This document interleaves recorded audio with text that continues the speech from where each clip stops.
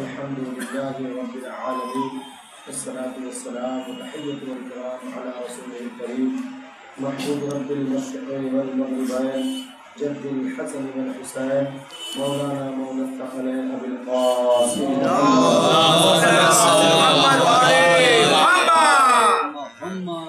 وعلى آل بيت الطيبين الطاهرين المعصومين المظلومين المنتخبين المنتجبين لعنة الله على القوم الصالحين قال رسول الله صلى الله عليه وسلم إني تارك فيكم الثقلين كتاب الله وعترتي وأهل بيتي. يا محمد.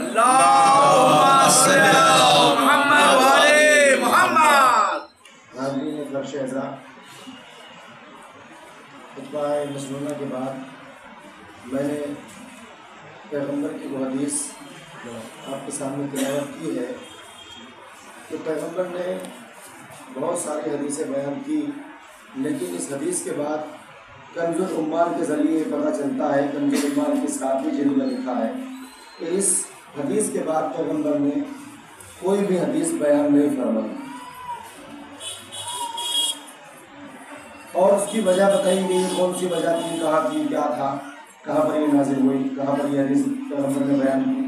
اور پھر اکثر علماء نے یہ بھی کہا ہے کہ جو حدیث ہے، یہ خالی حدیث نہیں ہے بلکہ حدیث قدسی ہے۔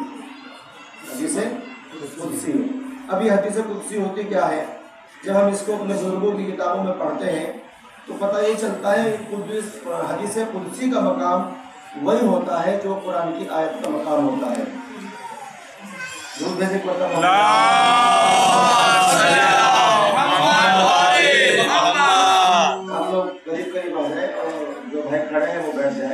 بہتر ہوگا اگر آپ بیٹھ جائیں درود بھیج محمد علی محمد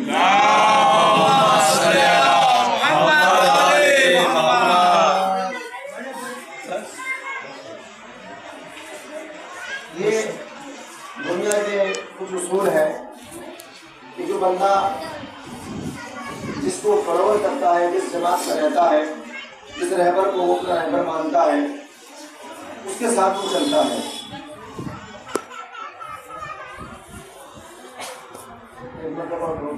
یہ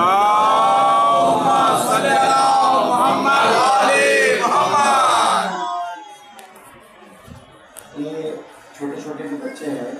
یہ رو رہے ہیں یا کھیل رہے ہیں۔ ہم لوگوں کا غالباً اس محرم کی شاید آخری مجلس ہے۔ اس امام بارگاہ میں کل ہوگی شام غریبہ لیکن وہ بہت مختصر ہوتی ہے تو میں چاہتا ہوں کہ کچھ باتیں اس مجلس کے ذریعے آپ تک پہنچاؤں۔ برائے مہربانی میری باتوں کو میری مجلس کو سننے کی کوشش کریں اس طرف دھیان رکھیں بسم اللہ۔ کہ دور بھیج محمد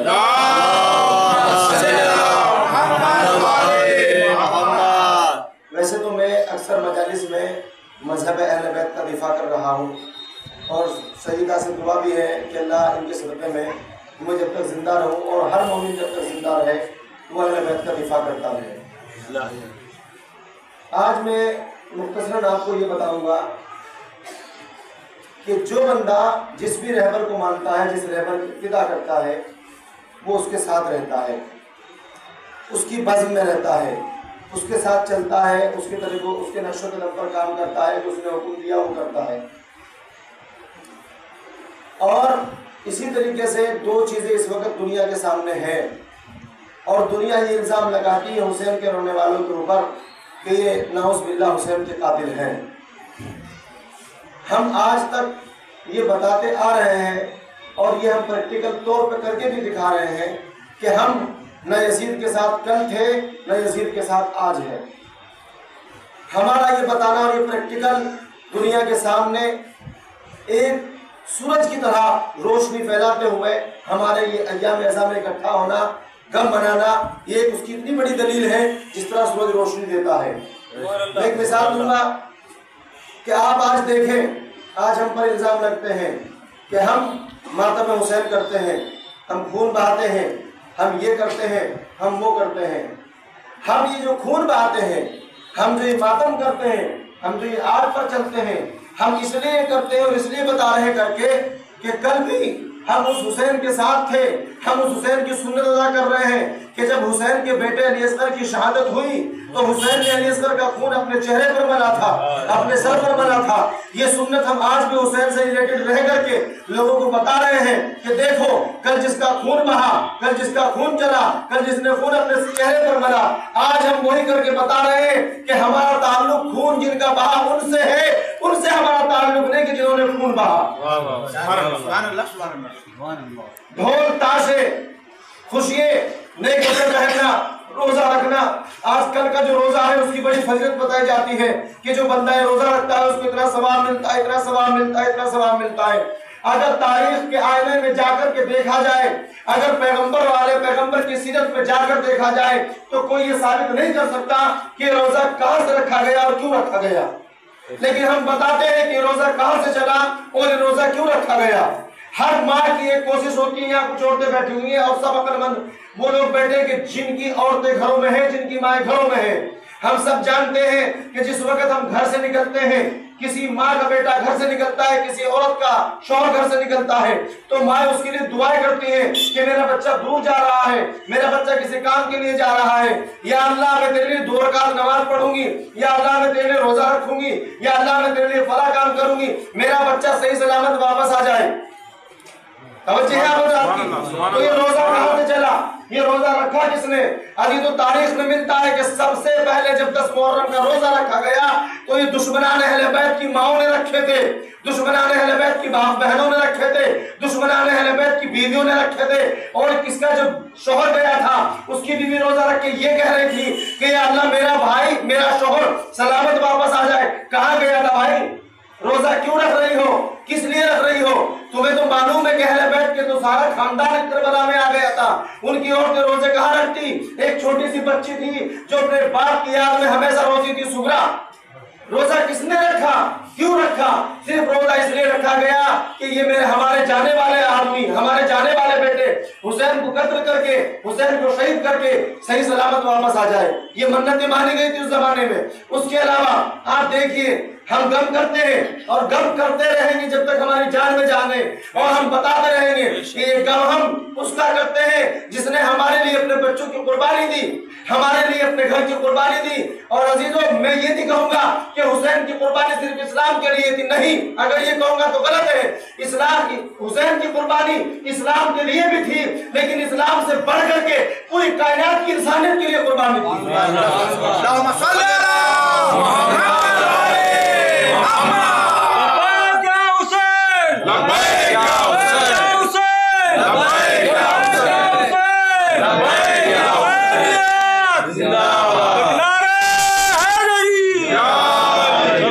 محمد آل محمد سبحان اللہ. کہا جاتا ہے کہ بھئی فلاں نے صلح کر لی تھی تو حسین بھی صلح کر لیتے. فلاں نے فلاں سے صلح کر لی تھی تو حسین بھی صلح کر لیتے. وہاں صرف صلح کس بات پر ہوئی کہ یہ پڑھا جائے؟ اور حسین نے صلح کیوں نہیں کی؟ حسین سے خالی بیت خالی بیت نہیں مانگ رہا تھا یہ یزید ملون حسین سے ہر گناہ کے اوپر بیت مانگ رہا تھا۔ بیت جب کی جا رہی تھی تو یہ کہا جا رہا کہ تم خاموش رہنا، تم کچھ نہیں بولنا۔ حسین نے کہا کہ اگر صرف مسلحت اگر صرف صلح اس پر ہوتی کہ تم اپنے گھر میں چین سے بیٹھ جاؤ، تم اپنا کام کرتے رہو، ہم اپنا کام کرتے رہیں گے، تو شاید صلح ہو جاتی۔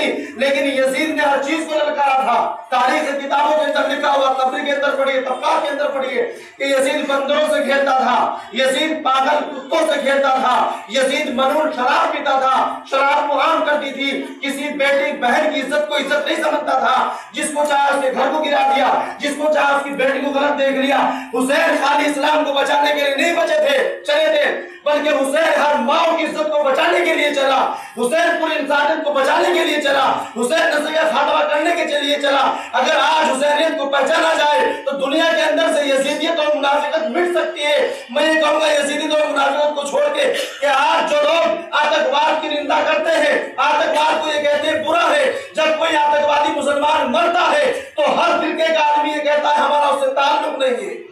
آپ نیوز پڑھیے، آپ خبر پڑھیے۔ یہ کہتے ہیں کہ ہمارا تعلق نہیں ہے، لیکن جب ہم ان کی شکلوں کو دیکھتے ہیں سرٹیفکیٹ بڑا ہوتا ہے اور یہ والی ایک میدان بنا ہوا ہوتا ہے کرکٹ کھیلنے کے لیے۔ کیپری ہوتی ہے، سب کچھ ہوتا ہے۔ بھائی، یہ سنت کس کی ادا کر رہا ہے؟ یہ طریقے پر کس کے ہے دنیا کا آج تک اصول ہے، آج تک کوئی بتا دے کہ کسی بھی اہل بیت کے چاہنے والے نے کسی کے اوپر ظلم کیا ہو۔ کربلا ہمارے سامنے پوری مثال ہے کہ امام حسین علیہ السلام اگر چاہتے اگر چاہتے تو امام حسین نہیں، بلکہ اگر علی اصغر ایک مرتبہ زمین کو کہہ دیتے کہ پانی دے، تو خالی علی اصغر کو پانی پینے کے لیے نہیں ملتا، بلکہ زمین اتنا پانی نکال نکال دیتی کہ تمام کائنات اس پانی سے چھک سکتی تھی۔ لیکن حسین حسین کے پاس موجزہ ہونے کے باوجود حسین خاموش رہے کیا عباس پانی نہیں لا سکتا تھا۔ کیا عباس پانی نہیں لا سکتا تھا؟ کیا علی اصغر اللہ سے دعا نہیں کر سکتے تھے؟ کیا یہ حسین جو کل دنیا کو بیٹے دے رہا تھا، آج یہ حسین کیا پانی نہیں ملا سکتا تھا؟ متفق طور پر حدیث لکھی گئی ہے، سب کے یہاں لکھی گئی یہودی تھا، ایک نصرانی تھا، اس کے یہاں اولاد نہیں تھی۔ وہ پیغمبر کی بارگاہ میں گیا، رسول اللہ میرے یہاں اولاد نہیں ہے۔ کہ تیری قسمت میں اولاد ہے ہی نہیں؟ تو چلا جا۔ بس جیسے ہی وہاں سے نکلا تو مایوس ہو کے جا رہا تھا۔ راستے میں مولا ملے، راستے میں امام حسین علیہ السلام ملے۔ ہر کوئی سنے، اپنی کتابوں میں جا کر کے پڑھے۔ سب کے یہاں یہ روایت موجود ہے کہ حسین جیسے ہی ملے، اور اس کے چہرے کو مایوس دیکھا۔ مایوس دیکھنے کے بعد کہا کیا بات ہے؟ کہا، میں اپنی عبادت خانوں میں جا کر کے دعا مانگ کے آیا۔ میں نے مساجدوں میں دعائیں مانگی میں نے گرجا گھروں میں دعائیں مانگی، میں ہر جگہ جا کر کے دعا مانگ کر کے آیا، لیکن پروردگار نے میری دعا نہ سنی اور پھر میں دعا سنوانے کے لیے اس پیغمبر کے پاس آیا تھا۔ پیغمبر نے مجھ کو میری قسمت کے بارے میں بتا دیا۔ اب عزیزوں کہا تیری قسمت کے بارے میں کیا بتایا؟ کہا، یہ بتایا کہ تیری قسمت میں بچے نہیں ہیں۔ کہا، چل ہمارے ساتھ۔ اب حسین اس کو پلٹا کے لائے، رسول کی بارگاہ میں آئے۔ کہا، یا رسول اللہ، اس کی قسمت میں کیا ہے؟ اس کو آپ نے کیا کہا کہ ہاں اس کی قسمت میں بچے نہیں ہیں؟ کہا، قسمت بنانے والے سے کہہ دے کہ اس کا بیٹا کہتا ہے، اس کو بچے عطا کر دو۔ قسمت بنانے والے کے سے کہہ دو کہ تیرا بیٹا تیرا بیٹا اس کو بچے دینے کا حکم دیتا ہے۔ ابھی تو قسمت بناتا کون تھا؟ قسمت بنائے گا کون؟ آئیے، قرآن کے ساتھ پارے کے اندر دیکھتے ہیں کہ کس طریقے سے قسمت بنائی جاتی ہے۔ یہ امام بارگاہ ہے۔ امام بارگاہ ہے۔ یہاں آنے کے بعد اس کا ایک کوئی نہ کوئی کمیٹی یا ایک دو آدمی یا ایک آدمی اس کو چلاتے ہیں۔ اور وہاں ہر کسی کو یہاں آنے کی اجازت نہیں ہے ان کی طرف سے، جو کمیٹی ہے۔ لیکن جو ہم آ رہے ہیں اور ہم آنے کے بعد اس بندے کے دل کو ہم نے جیت لیا، اس کی مرضی کو ہم نے لے لیا مالک کی مرضی کو ہم نے لے لیا سب کچھ دے کر کے۔ تو آپ یقیناً بتائیے کہ جن کو آنا ممنوع تھا اگر جس نے اس کی مرضی خریدی اگر وہ ان کو چاہے تو ان کو کہیں بھی لا کے بٹھا سکتا ہے۔ ان کو کہیں بھی لا کر کے بٹھا سکتا ہے۔ تو مرضی خدا کی کس نے خریدی؟ مرضی خدا کی کس نے خریدی؟ قرآن کی آیت ہے بسم اللہ الرحمن الرحیم۔ وَمِنَ النَّاسِ مَنْ يَشْرِي نَفْسَهُ ابْتِغَاءَ مَرْضَاتِ اللَّهِ وَاللَّهُ رَءُوفٌ بِالْعِبَادِ۔ یہ آیت ہے قرآن پاک کی۔ آپ دیکھیے کہ ایک رات ایسی آئی جس وقت علی ایک بستر پر سوئے۔ درود بھیجے محمد علی۔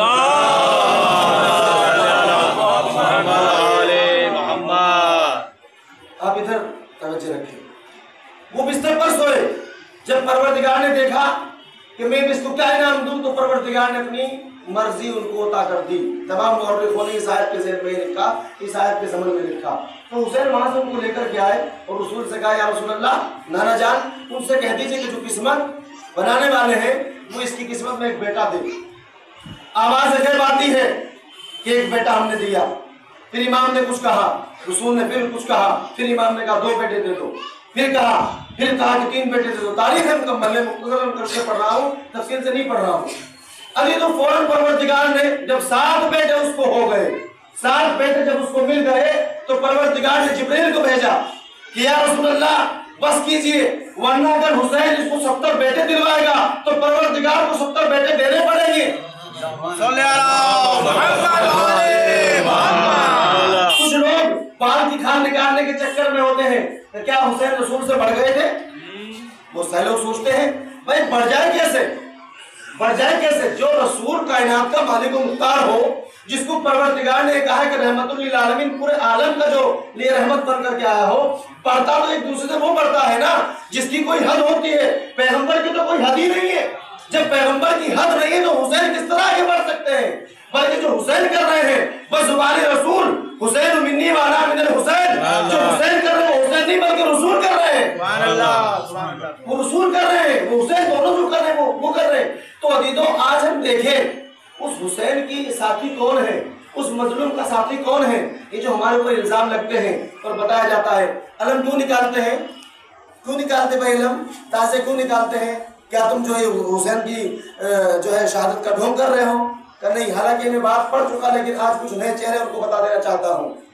دنیا کے اندر یہ اصول ہے کہ جب کسی سے کسی کی لڑائی ہوتی ہے، لڑائی ہونے کے بعد ایک دوسرا ایک دوسرے کے ساتھ لڑتا ہے اور لڑنے کے بعد ایسی لڑائی ہو جاتی ہے کہ کچھ کوئی لوگ مر جاتے ہیں۔ ایک دو آدمی لڑائی میں مر جاتے ہیں، ختم ہو جاتے ہیں۔ تو وہ جس نے ان کو قتل کیا، جو ان کو مار رہا تھا، توجہ، میری بات پر توجہ رکھنا۔ جو جنہوں نے ان کو قتل کیا، وہ جو قتل کرنے والا قاتل ہے، وہ ہمیشہ کے ہمیشہ کے لیے اس کی کچھ پوائنٹ کچھ ثبوت اس کو ختم کرنا چاہتا ہے۔ اس کے ثبوتوں کو دیکھنا نہیں چاہتا۔ بھائی آپ میں غلط تو نہیں کہہ رہا ہوں؟ بابا جی میں غلط تو نہیں کہہ رہا ہوں؟ یہ بات ہے کورٹ میں ثبوت پیش کیے جاتے ہیں اور وہ جو قاتل ہوتا ہے وہ ثبوتوں کو مٹانے کی کوشش کرتا ہے اور کبھی کبھی تو ایسا ہوتا ہے کہ جو ثبوت لے کر کے جاتا ہے اس کو راستے میں ختم بھی کر دیا جاتا ہے۔ آج یہی ہو رہا ہے علم لے کے ہم چلتے ہیں ثبوت لے کے ہم چلتے ہیں تازیہ لے کے ہم چلتے ہیں۔ لوگ ہم کو مار رہے ہیں کوئی ہمارے اوپر بم ڈال رہا کوئی بندوق مار رہا کوئی کچھ مار رہا۔ میں تم کو تکلیف کیا ہے؟ علم امام کا تازیہ امام کا لے کے ہم جا رہے ہیں اٹھا کر دو پہن رہے ہیں تم کو تکلیف کیا ہو رہی ہے تکلیف پتا نہیں چل گیا کہ ان سے ان سے جب بھی یہ نکلتے ہیں جب بھی تازیہ چلتا ہے ہم اپنی پیغمبر اور آل- پیغمبر کی آل کے ساتھ رہنے کا ثبوت دیتے ہیں تم اس لیے بھاگتے ہو کہ تمہارا تعلق قاتلوں سے ہے اور ہمارا تعلق مقتولوں سے ہے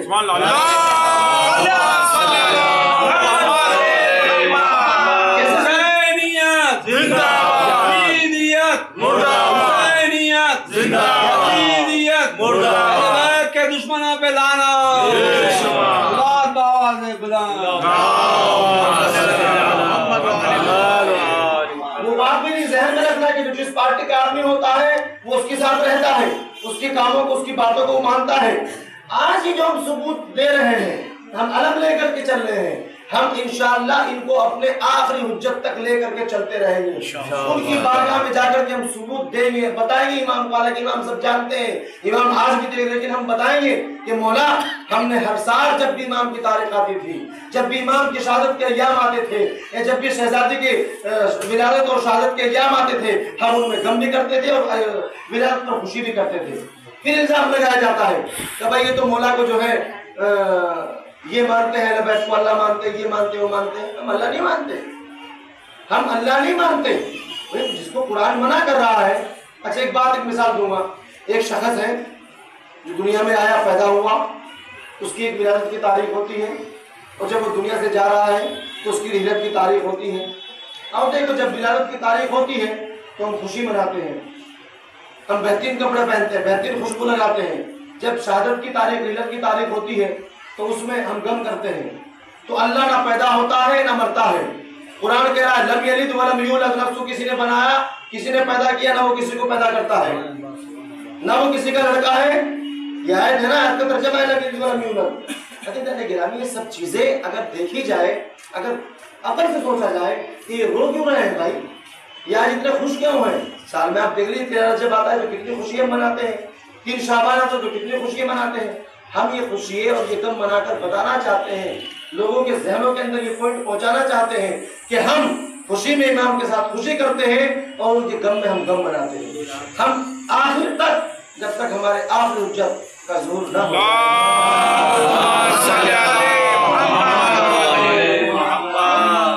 جب تک ہم علم بھی اٹھائیں گے اور تعظیم بھی اٹھائیں گے۔ اور لوگوں کے اوپر اسی طریقے سے آیا کرتے رہیں گے۔ اچھا اگر ہم ان کی پارٹی کے آدمی ہیں الزام ہے ان کا ہمارے اوپر کہ نہیں، یہ قاتل ہیں۔ اگر ہم ان کی پارٹی کے آدمی ہیں تو بھائی ہم امام کا ساتھ دے رہے ہیں۔ پتہ چل گیا کہ جیسے محرم کا چاند نظر آیا تو گھر کس کا لٹا تھا؟ بچے کس کے قربان ہوئے تھے؟ کس کے قبیلے ختم ہو گئے تھے؟ اگر ہمارا تعلق ظالموں کے ساتھ تھا تو یہ تاریخ آنے پر، یہ دن آنے پر ہم روتے نہیں، بلکہ خوشیاں مناتے ہیں۔ ہمارا تعلق آل رسول سے ہے۔ اسی لیے ہم رو رہے ہیں کہ وہ اس میں شہید ہوئے ہیں۔ اور جو اس قوم سے جن کا تعلق ہے، اس جماعت سے جس کا تعلق ہے، آج وہ ان دنوں میں خوشیاں مناتے ہیں۔ کھانے ایک سے ایک بناتے ہیں۔ اور یہ کہتے ہیں، کھانا اتنا دسترخوان، اتنا طویل کر دو، اتنا طویل کر دو کہ جو اس تاریخ میں دسترخوان کو طویل کرے گا، تو پروردگار اس کو پورے کے پورے سال کھانے میں کمی نہیں کرے گا۔ یہ روایت گھر ملتی ہے بتایا جاتا ہے؟ مجھے بتاؤ آپ حسین کو نہیں سمجھ سکتے تو اگر آپ کے گھر میں آپ کا باپ مر جائے، آپ کا جوان بیٹا مر جائے، آپ کا بچہ مر جائے، آپ کا بھائی مر جائے، تو کیا آپ خوشی کریں گے؟ اب بتائیے، خوشی کون کرے گا؟ خوشی وہ کرے گا جو اس کا دشمن تھا۔ خوشی مرنے والے کا دشمن منائے گا اور اس کے جتنا مرا ہے وہ غم منائیں گے۔ تو آج یہ معلوم ہو گیا کہ محرم میں جو غم مناتے ہیں روتے ہیں، اپنا خون بہاتے ہیں۔ وہ حسین کے ساتھ ہیں، کل بھی حسین کے ساتھ تھے، آج بھی حسین کے ساتھ ہیں۔ اللہ، ہم کو یہ باتیں لوگوں کو بتانی ہے اور اپنے اس طریقے سے بتانی ہے اس طریقے سے ان تک یہ پہنچانا ہے کہ امام حسین کا ساتھ دینے والا کون تھا؟ یہ پہچان لو، آج تاریخ آ گئی ہے۔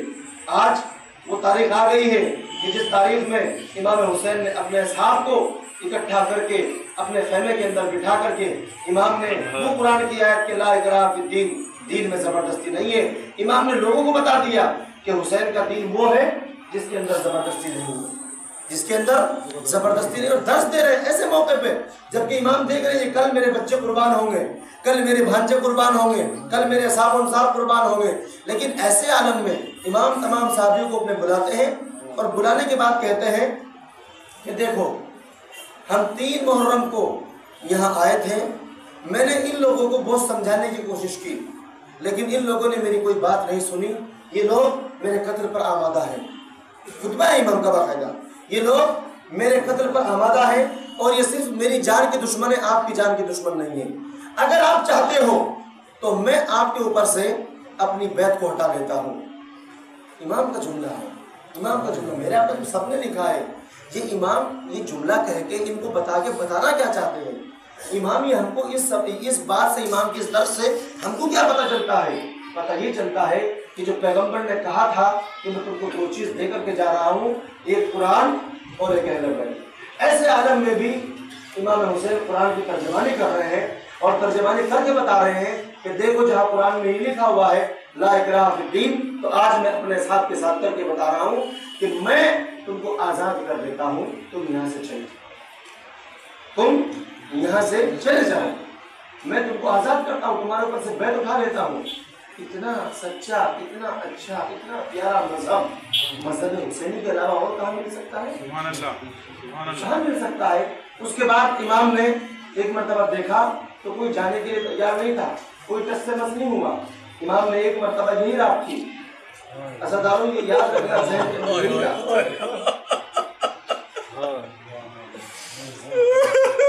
یہی رات کی نو نو محرم گزر چکا، دس محرم کی رات آ چکی امام کو معلوم ہے میرے خیموں میں پانی نہیں ہے۔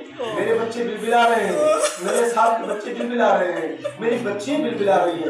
امام کہتے تم جانا چاہتے تو چلے جاؤ۔ امام نے دیکھا کہ کوئی جا نہیں رہا ہے۔ تو امام نے جو چراغ تھا جو روشنی تھی اس کو دور کر دیا، اس کو بجھا دیا۔ کہا کہ جب تمہیں روشنی میں جاتے ہوئے تو شرم محسوس ہوتی ہو، تو میں اپنے چراغ کو بجھا دیتا ہوں۔ چلے جاؤ۔ ایک مرتبہ چراغ کو بجھایا گیا۔ جب چراغ کو بجھانے کے بعد، کچھ دیر کے بعد چراغ کو دوبارہ روشن کیا گیا۔ تو امام کیا دیکھتے ہیں کہ تمام امام کے چاہنے والوں نے اپنی تلواریں میان سے نکال کر کے اپنی گردن پہ رکھی ہوئی ہے۔ کہا، مولا اور امتحان نہ لیجیے۔ مولا، اور امتحان نہ لیجیے۔ ارے، اگر ہم چلے گئے تو ہم سے کہتا کو کیا منہ دکھائیں گے ارے آپ کی نانا محمد مصطفیٰ کو کیا منہ دکھائیں گے امام ہمارا اور امتحان نہ لیجیے بس جیسے امام نے ان اپنے صحابیوں کے جذبات دیکھے تو ایک مرتبہ مدینے کی طرف رک کیا رو کر کے کہتے ہیں با نانا نانا میرے جیسے اصحاب اگر آپ کو مل جاتے تو کوئی آپ کو اتنی حیثیت نہ پہنچاتا جنت البقیع کی طرف رک کر کے کہا اے میری والدہ اگر میرے نانا کے صاحب انصار ایسے ہوتے جیسے مجھ کو ملے ہیں، تو کوئی تیرے اوپر دروازہ نہ کھلا کوئی چھوٹے بھائی موجر کو شہید نہ کرتا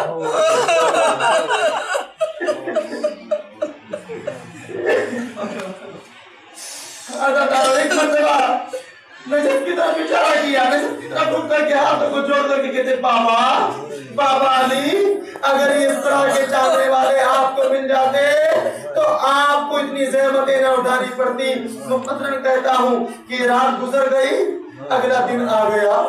دس محرم کا جب سورج نمودار ہوا، جب دس محرم کا سورج طلوع ہوا اداداروں میں اور آپ تو سنتے ہیں۔ میں اور آپ تو سنتے ہیں۔ وہ حسین جو اپنے سینے پر ہمیشہ اپنی بچی کو سلاتا تھا، وہ حسین کو معلوم ہے کہ اب عصر کے وقت تک میں شہید ہو جاؤں گا میں قربان ہو جاؤں گا میری بچی میرے سینے پر سر رکھ کر کے سوتی تھی۔ آج کی بات کہاں سوئے گی؟ امام بھی دیکھ رہے ہیں رباب دیکھ رہے ہیں۔ ارے میرا علی اصغر ہے جو میرے سینے پر سر رکھ کر کے سوتا ہے آج کے بعد میرا علی اصغر اب مجھ سے ودا ہو جائے گا۔ ارے کہاں سر رکھ کر کے کہے سوئے گا؟ ہائے رباب تیرا علی اصغر تو ایسا ہے کربلا کی تاریخ کے اندر ہی جملہ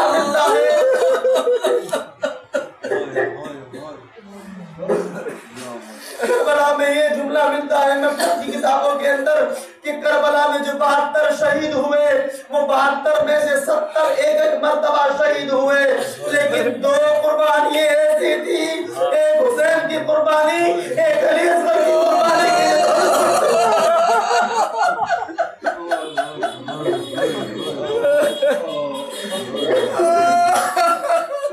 ہاداروں ہاں، علی اصغر کی شہادت دو مرتبہ ہوئی ایک مرتبہ تو جب جب امام خیمے سے لے کر کے نکلے اور خیمے سے لے کر کے نکلے تھے۔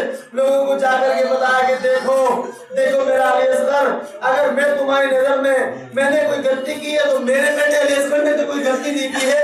اور یہ تو چھ مہینے کا بچہ ہے پر دشمن تیر نکالتا ہے اور تیر چلا ہے میں نے اس تیر کو پڑھا کہ وہ تیر کتنا بڑا تھا، کتنا لمبا تھا۔ اللہ سنو گے سنو گے جملہ، اس کے اندر لکھا ہوا ہے کہ وہ اتنا بڑا تیر تھا، اتنا لمبا تیر تھا، اس کی مسافت اتنی بڑی تھی۔ وہ تیر جو علی اصغر پر چلایا گیا، اس تیر سے اونٹ کو ذبح کیا جاتا تھا۔ اونٹ اور ہاتھیوں کو چلایا جاتا تھا۔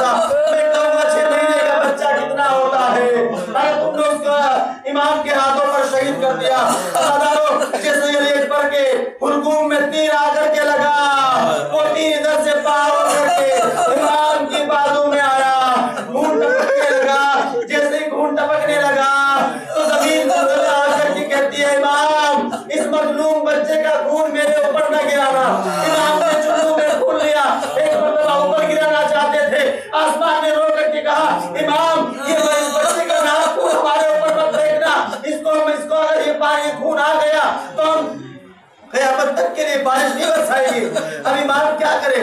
امام نے وہ خون لیا، اپنے چہرے پر بھر لیا، اپنے پر بھر لیا۔ میں کہوں گا امام ایسا کیوں کر رہے ہیں؟ کہا، میں اپنی ماں کے سامنے، فاطمہ کے سامنے جا کر کے بتاؤں گا، اسی خون کے عالم میں اپنے نانا کے سامنے جاؤں گا۔ اپنے نانا سے کہوں گا، اے نانا، تیرا کلمہ پڑھنے والوں نے، اے نانا، تم سے نماز شہید کر دیا امام علی اصغر کو لے کر کے چلتے ہیں۔ امام علی اصغر کو لے کر کے چلتے ہیں، جیسے جاتے ہیں، ایک مرتبہ خیمے میں جانا چاہتے ہیں، لیکن یاد آتا ہے کہ میں رباب کو کیا جواب دوں گا۔ ارے، میری سکینہ ہے، وہ دیکھی میں اس کو کیا جواب دوں گا؟ میں اپنی سکینہ سے وعدہ کر کے آیا تھا۔ جب میں علی اصغر کو لے کر چلا، تو سکینہ نے مجھ سے یہ کہا تھا، بابا بابا علی اصغر کو پانی پلانے لے جا رہے ہو، مجھ کو نہیں لے کر کے جا رہے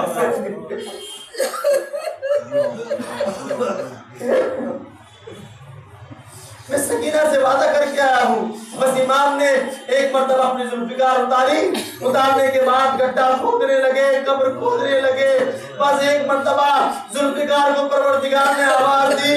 ذوالفقار رو کر کے کہتی ہے، اے امام اے امام، میں تو آپ کی نصرت کے لیے آپ کے ساتھ آئی تھی۔ مجھے کیا معلوم کہ مجھ سے علی اصغر کی قبر کھودی جائے گی۔ ہاں دارو، علی اصغر کی تفسیر ہو گئی۔ علی اصغر کو امام نے قبر میں لٹا دیا۔ میں نے جو یہ کہا کہ اس علی اصغر کی شہادت دو دفعہ ہوئی ہے۔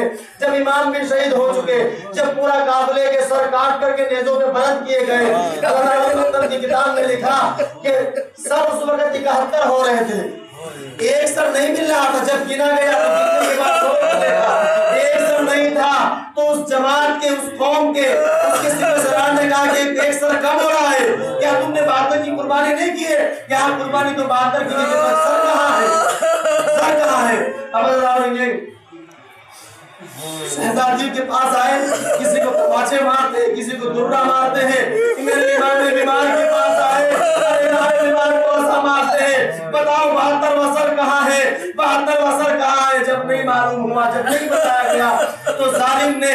اپنی سپاہیوں کو حکم دیا کہ نیزے لے لو ہاتھوں میں اور نیزے زمین میں مارتے مارتے چلے جاؤ رو بس یہ ظالم نیزے مارتے ہوئے زمین میں پڑھے کہ اس موقع مقام پر پہنچے جہاں نیزے تبدیل تھے ایک ظالم نے نیزہ مارا نیزے کی ساتھ نیزے کا